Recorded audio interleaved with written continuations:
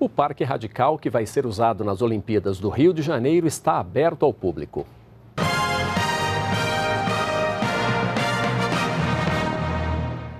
Este complexo esportivo de Deodoro vai atender moradores de pelo menos três bairros. A população vai contar com o segundo maior parque da cidade do Rio de Janeiro.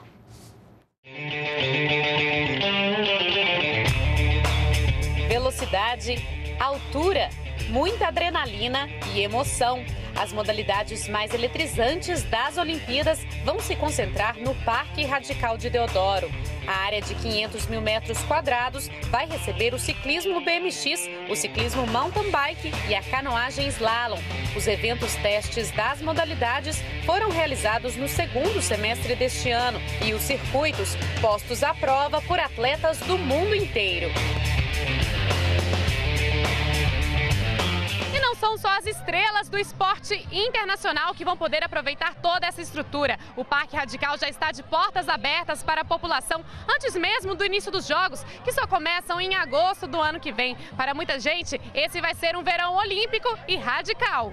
A principal atração, a piscina do circuito de canoagem, foi aberta nesta quarta-feira. Por medidas de segurança, as corredeiras artificiais foram interditadas e o nível da água mantido baixo banheiros, vestiário, cadeiras de praia, chuveiros e lanchonetes móveis foram instalados e salva-vidas estão atentos para qualquer emergência. O ministro do Esporte, George Hilton, compareceu à abertura do Parque Radical no Rio de Janeiro. Os atletas estão vibrando porque vão ter um centro de excelência para treinamento dos esportes radicais e a comunidade vai poder desfrutar disso também, já que o legado não é só dos atletas, é de todo o povo brasileiro. A ideia nossa é interagir com as escolas para que as crianças possam ter todas as condições de fazer iniciação esportiva. Os recursos para a construção do Parque Radical são do governo federal e somam cerca de 300 milhões de reais. A ideia é que a piscina da canoagem fique aberta para a população até março de 2016 quando passará para a responsabilidade dos organizadores dos Jogos Olímpicos. Esse é um legado fundamental. É, há outros legados que estão, em, alguns já sendo utilizados pela sociedade, principalmente legados na área de transportes. Tem é, legados na área de, de, do urbanismo da cidade, o desenvolvimento urbano da cidade, né, de controle de enchentes ou de recuperação ambiental de, de áreas importantes da cidade. E esse aqui é um legado que vai trazer para uma comunidade que necessita opções de lazer, entretenimento, é, um, uma, uma opção de um parque, um parque sensacional, um, um dos maiores parques da cidade, é, do qual ela não tinha antes. Dez bairros e três municípios da Baixada Fluminense são vizinhos ao parque.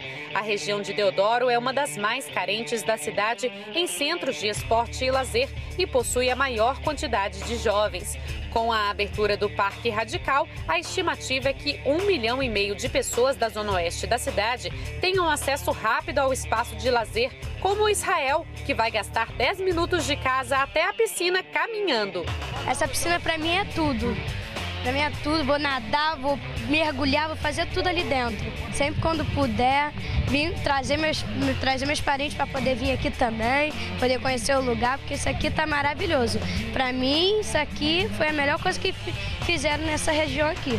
A piscina ficará aberta durante o verão, de quarta-feira a domingo, das 8 da manhã às 6 da tarde. A entrada é gratuita e basta levar um documento de identificação. Eu faço jiu-jitsu, meu filho faz, minha filha faz balé entendeu? A gente pratica esporte, então pra gente é uma boa, entendeu? É até uma oportunidade mesmo para essas crianças que às vezes não tem nada, tá na rua aí cheirando, fazendo qualquer coisa errada, podendo curtir aqui.